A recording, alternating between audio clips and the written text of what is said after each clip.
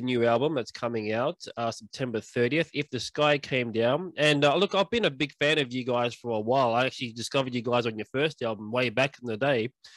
And uh, it's, it's interesting to see the the evolution of the band because you guys sound quite different now compared to what you were when you first started.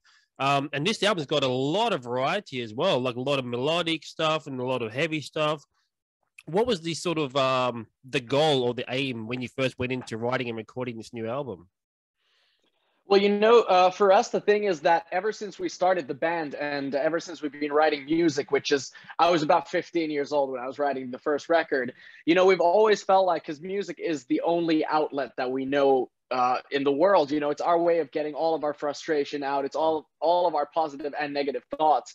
And for us, you know, we've always been a band that kind of we hold and we wear our influences quite heavily on our sleeves. And you know, back in the day our musical influences, you know, they they consisted of the classics. It was the Iron Maidens, your Judas Priests, your Children of Bodoms, and Megadeths. Yeah. And that's what we, you know, that's what we mostly listened to. So I think it kind of made sense that when we started writing music, the stuff that came out was pretty fast, you know, very kind of mm-hmm. adrenaline soaked and and uh, you know, you had that kind of youthful angst and a- aggression and stuff. But as the years have gone by, you know, obviously I'd say that our musical horizons have also um, you know, varied a lot and it's opened up. And what we listen to nowadays is a mixture of all kinds of music. So to me, what we do right now and what we did with the previous record and even on the third record is very natural because I feel like everything we listen to, it would be kind of weird if we didn't bring it into our own music because you know, let's face it, in 2022, I feel like most of everything has already been done. So I think the coolest things and the most personal and unique things usually come about when you kind of mix and match things that many people are like, oh, you can't do that. But then we're like, well, why not? in a way because you know I, I felt like for the for the longest time there was a weird kind of paradox going on in the metal world where it's like we got into the whole style because the the message that was always brought to us was that you know what in this music style you can do whatever you want. Mm. but then at the same time there's a lot of these kind of different restrictions and boundaries. It's like if you listen to this kind of music you're not allowed to fuck with this kind of yeah. music.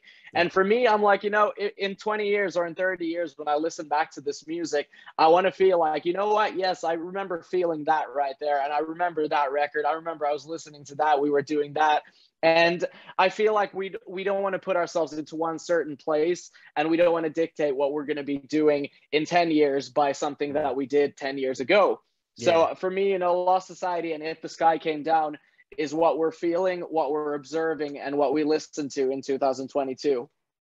Yeah, no, I think you hit the nail on the head perfectly there. Where it's it's it's kind of weird how you know metalheads in general kind of like to go against the grain, so to speak, you know, against the trends but then at the same time they're like you can't go outside the box that we've created for ourselves you know? I think you're exactly right about that. We, we're sort of a little bit um kind of conventional in that sort of sense.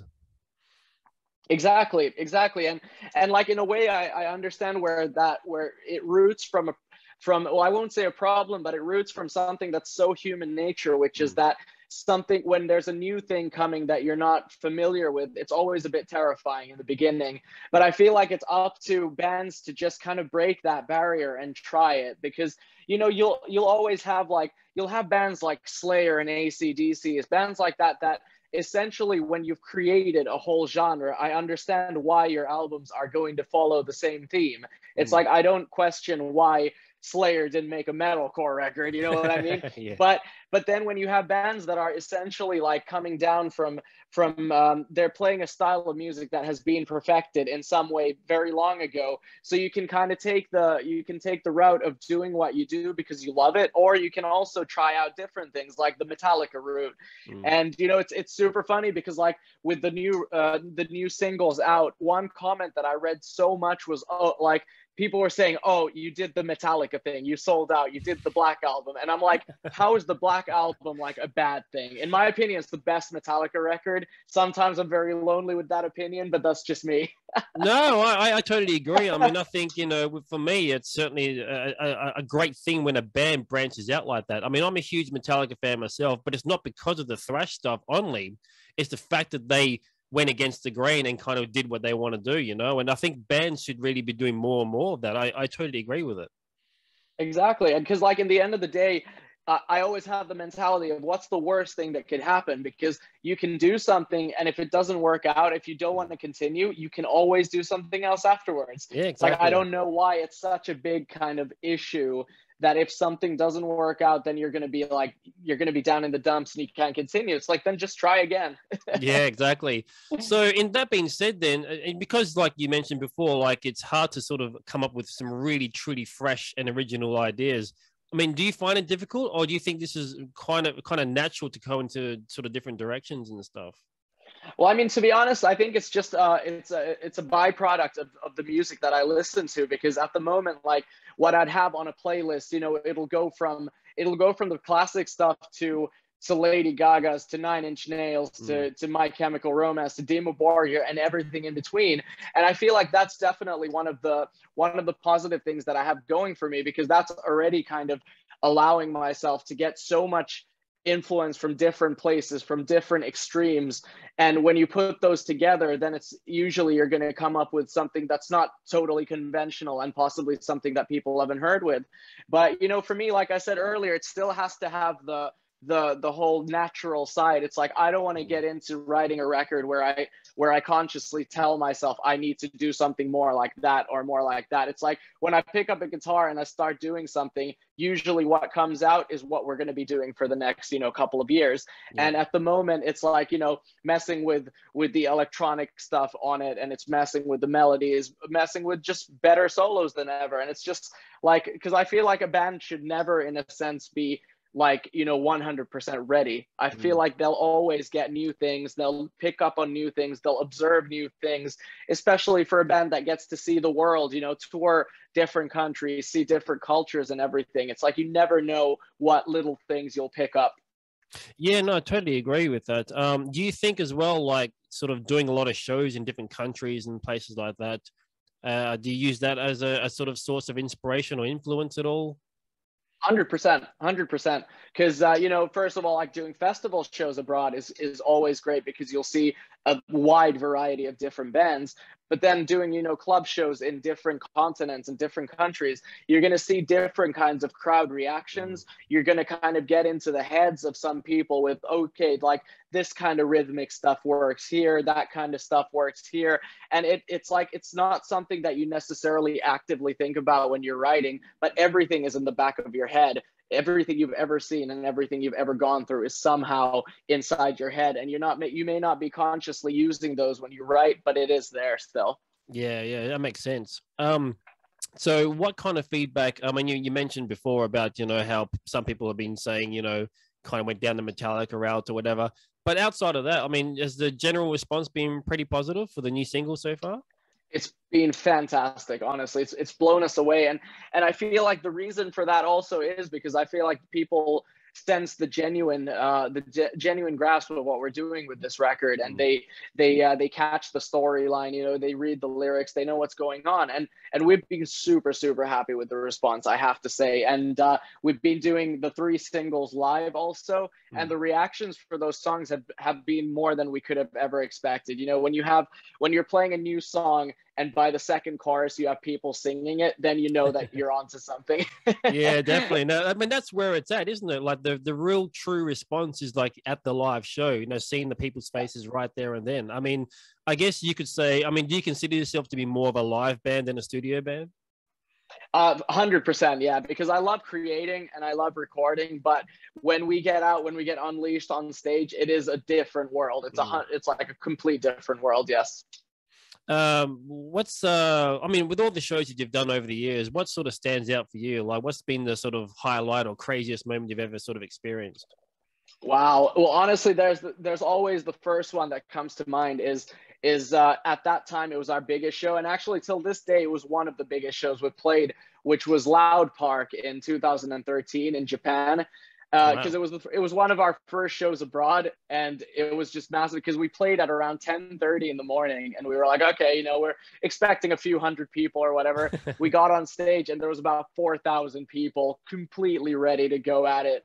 Wow. And you know that was for us because that was the first time we saw such a different place than what we were mm. used to, And, um, you know, so that's definitely stayed in our hearts for a long time. But one that I have to mention is one of the, the kind of bucket list items that we got off this summer, just a couple of weeks ago, which was Wacken. We did oh. that for the first time, which, of course, you know, for any metal band, and for any uh, metal enthusiast, of course, it's just one of those things that you can't wait to get to play it if you get yeah. to play it one day. And uh, yeah, the our time was this uh, this summer, and it was just fantastic, absolutely fantastic. A great crowd, great show, and everything. Just uh, it couldn't have been a better way of starting our Wacken history. yeah, I mean that place is obviously an institution. I mean everyone in the world knows that place, that that venue, that show. You know, and uh, for a band exactly. like yourselves to actually be playing it, um, that must be a, an awesome feeling to have. It is absolutely, and uh, it was just one of those things that it was like we were all super nervous about it. We didn't know how much crowd there'll be or whatever. Mm. Got up there, and it just like it, it just like it was one of those things where like every time we get up on stage, in a way we we change. Like the person that we are just changes into this alter ego who just you know starts just going absolutely crazy. And it's just in our it's in our nature. It's like it's not something we ever anticipate or anything. It's just when we get on stage and we start playing our music to even mm. one person or you know a thousand people or a million yeah. people it kind of takes over us. But you know getting to walk in knowing that we're there having about 10,000 people in front of us it was just it was crazier than any of us could have ever anticipated so that being said, then uh, for the future, uh, what is it that you haven't done yet that you want to do? Wow. I mean, honestly, there's a lot of places and there's a lot of festivals. I mean, first of all, there's a whole continent that we haven't seen yet, and we can't wait to, uh, to see everything around the world. But I mean, like Australia is is one of the places that you know it's been it's been a long time coming, and unfortunately, like the fa- the the the the sad fact is that obviously it's a hard place to get to. Mm, but yeah. I'm very positive uh, and thinking that in the you know within the next couple of years it will definitely be something that we'll that we'll be able to do and because you know we've done japan so many times which is so close I know. so, so it's like we hope we can finally make that that last flight and uh, and finally come out there Oh no, well, uh, we'll look forward to hopefully seeing you down here in the future. I mean, we're always embracing new bands and stuff like that. I mean, as I said, um, I don't know uh, how much of a market you have in Australia. But I, for one, uh, have been a fan of you guys for, for a long time. So I'd love to see you down here, to be honest. Amazing. I really hope we can make it happen as soon as possible. Yeah, cool.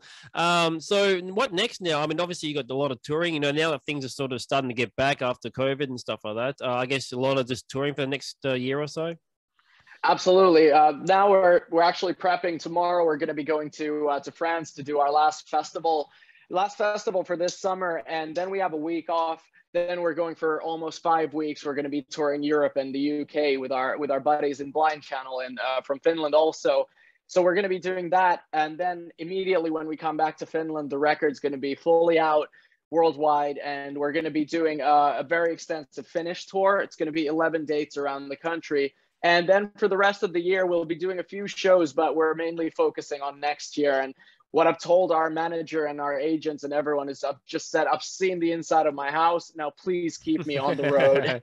yeah, exactly. I think everyone sort of has the same feeling. You know, everyone wants to get out of the house and just you know hit the road hard. You know, so absolutely, hundred percent, hundred percent.